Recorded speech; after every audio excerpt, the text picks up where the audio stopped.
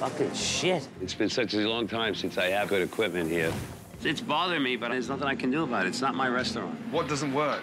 All these stove tops here don't work. The broiler doesn't work proper. This, this oven does not work. We use it as storage. We keep our towels and stuff in here.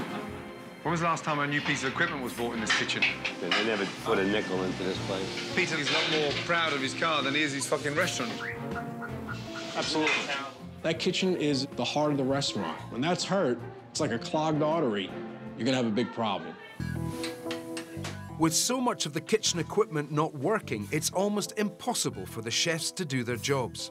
And their frustration has been felt by the rest of the staff. Where's my uh, Portofino? They're coming, but don't keep asking for them. Don't ask for them one more fucking time. When there's a chaotic night here, I have Robert screaming. When the dishes are ready, that's when they're gonna come out. He's an excellent chef, but he's crazy. Take them, take this out. Fucking gotta keep asking for the fucking food. Can you see if my friend the doctor wants another bottle of wine on, uh... Sure.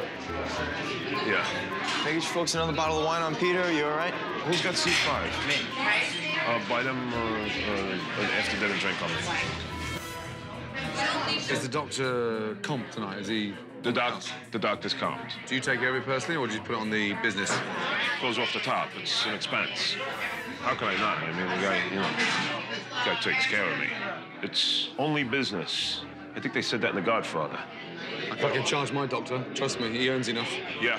It's like a little meeting place here. A little meeting Huh? place, yeah. Shame no one's spending money. The combination of Peter spending a great deal of money on himself and giving away free meals has put the family business in jeopardy.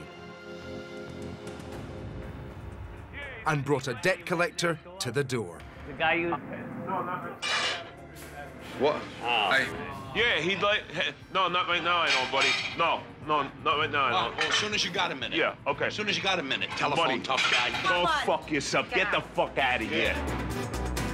Pick your fucking hands Touch up, me, John. tough guy. Pick your fucking Touch hands me. up. You want to hit me? You're the tough guy. You want to hit me? Put Nah. your hands on me, Nah, Pete. no. I'll let you do it first. Listen, Listen to me, to me. tough guy. No, you're the Listen tough to guy. Our friendship is fucking You over. ain't my friend. You're a scumbag. lowlife. That's why scumbag. You always been a you scumbag. You fucking me- talk to me like that again, you get hurt. John- You'll get fucking I- hurt. Hey, you ain't got me scared. All right, you ain't good, got me good, scared, Bo. good.